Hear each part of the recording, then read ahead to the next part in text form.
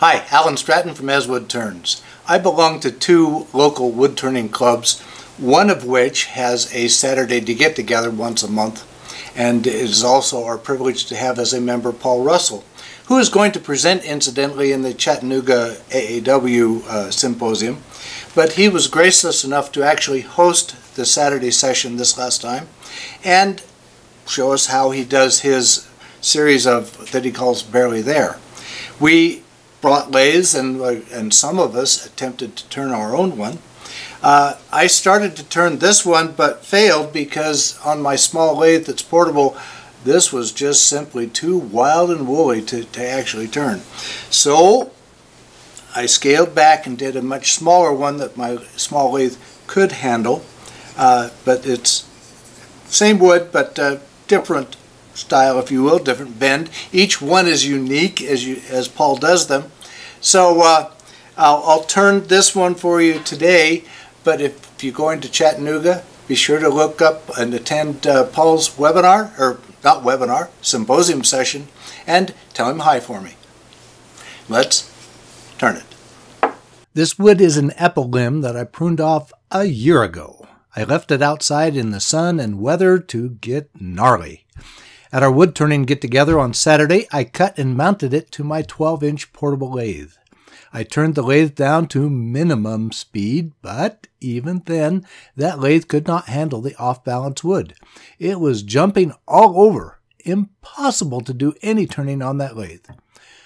Now, okay, face shield in place. I have it mounted on my larger, heavier Powermatic 3520A with an additional 200 pounds of sand. The vibration caused one bag of sand to fall. Even with the weight, I have to carefully manage the speed. Definitely keep it in the very low range. This is starting off between centers. My first task, as usual, is to carefully mount, cut a mounting tenon. Whew!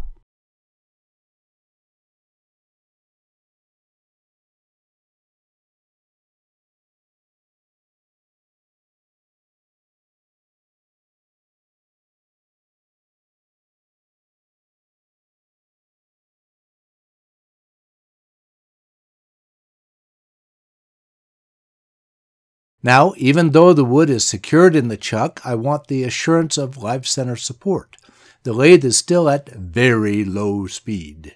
Here we go with the bowl gouge.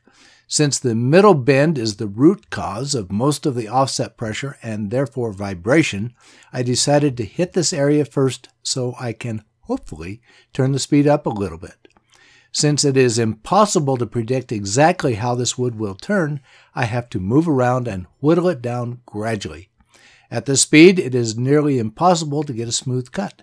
I do stop frequently to assess progress and move the tool rest closer or to another area.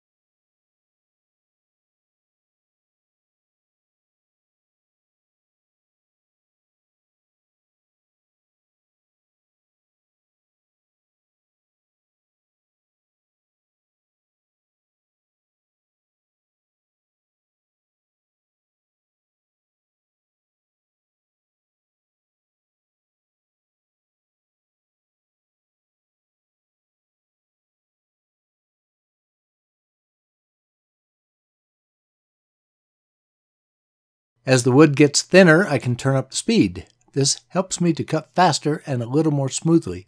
Even then, it is not a great surface. The bark was black and ugly, a lot split off, and I helped the remaining bark sections, sections to go away also.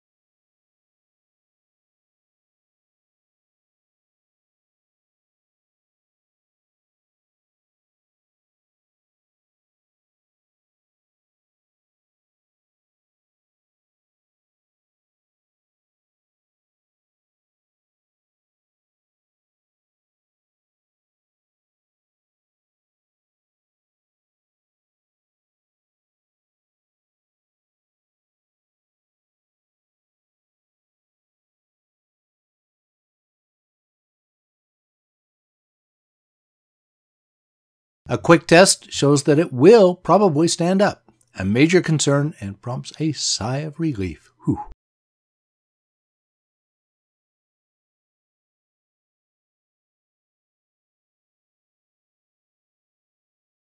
Before the wood gets too thin and springy, I stop to drill a hole in the top, then reset the live center into that hole. Sorry, you cannot see the drilling with this camera set. This wood is simply much longer than normal.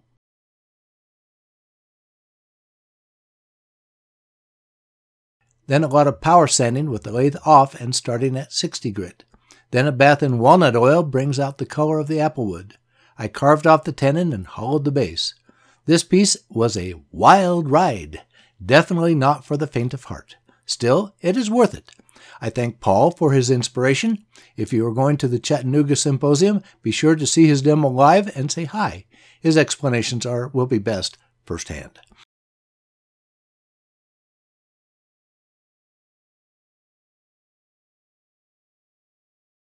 Please give this video a thumbs up, subscribe on my website, and tell your friends about my videos.